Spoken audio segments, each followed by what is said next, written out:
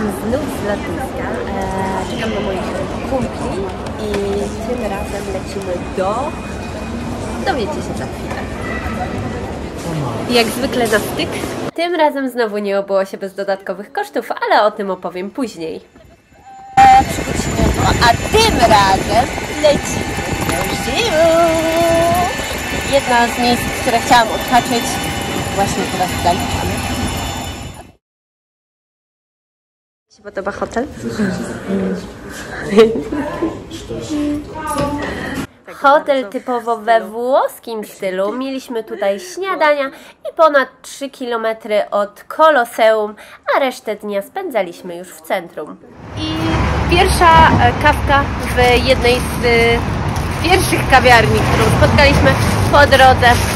Po podróży byliśmy tak głodni, że musieliśmy wstąpić do pierwszej lepszej kawiarni, żeby coś przegryźć i oczywiście wypić kawę.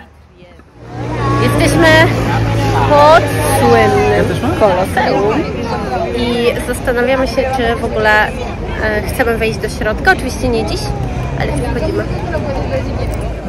Ale fajny klimacik. Krótki przystanek na forum Romanu i tym razem to nie ja miałam telefony z pracy. I choć na tym wyjeździe mało pracowałam, to cały czas miałam kontakt z moim teamem. Ogólnie byliśmy tak głodni, że nawet jako pierwsza nie zrobiłam em, nic na Instagrama. Znaleźliśmy zarąbistą knajpkę, bardzo dobra pizza, porobiliśmy chłopcy. I e, oczywiście z Patrynią obowiązkowo butelka wina. Czasami nie wiem, czy to klimat wakacji, czy po prostu miejsca, w którym się znajduję i totalnie innej mentalności ludzi za granicą. Są zdecydowanie bardziej szczęśliwi i otwarci na wszystko. A to słynna fontanna di Trevi i jak to naprawdę wygląda. A ludziom nie chodzi tylko o zdjęcie, a po prostu o schłodzenie się.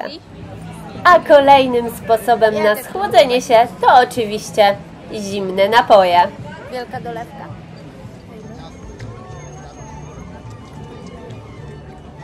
To jest chyba forum.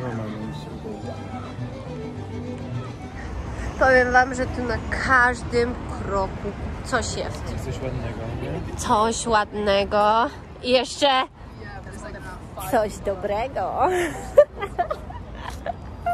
Chyba większość z Was wie o czym mówię.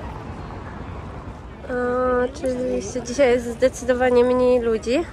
Chyba odsypiają wczorajszą imprezkę. E, my delikatnie tylko podrinkowaliśmy. Dzisiaj mamy moc! Oczywiście nie obyłoby się bez kręcenia kontentu, który mi się przydaje na moje social media. Po tym, jak się okazało, że obeszliśmy praktycznie cały Rzym pierwszego dnia, poszliśmy korzystać z tego, co we Włoszech jest najlepsze, czyli dobre wino i pizza.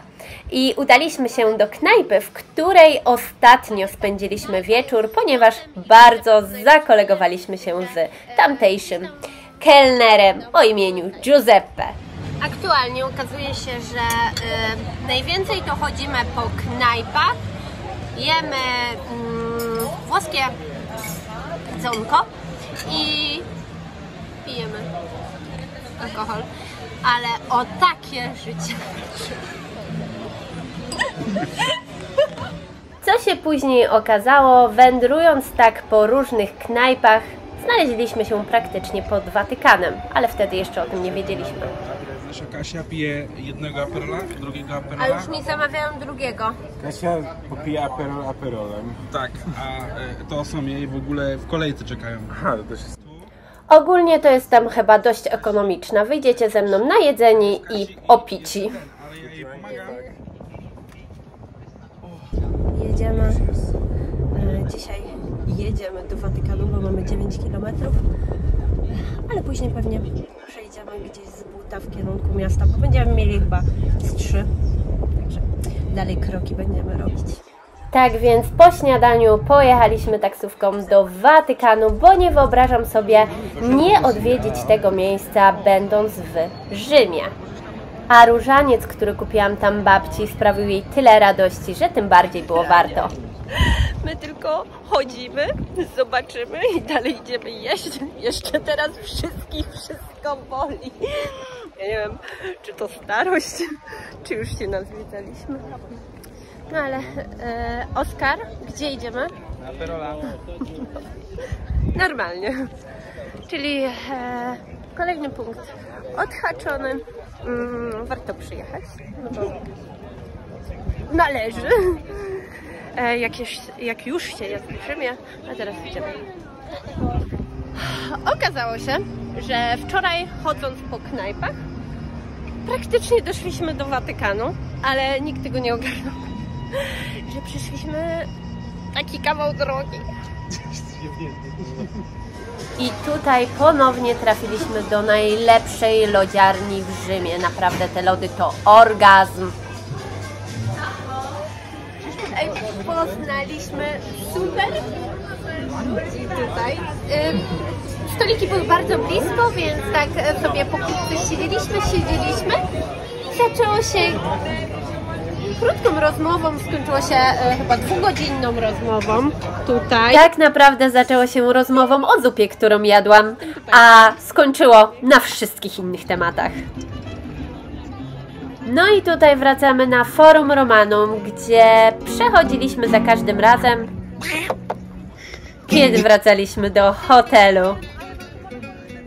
Najczęściej tutaj robiliśmy sobie mały przystanek, bo klimat był tu niezwykle sprzyjający, a to, co było wyświetlane na ruinach Forum Romanum, również przyciągało uwagę. Sami zobaczcie.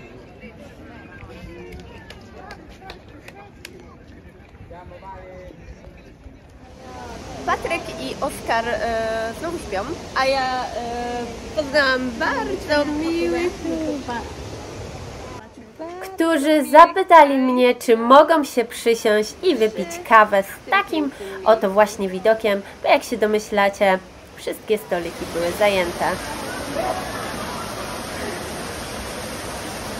Idziemy na lotnisko.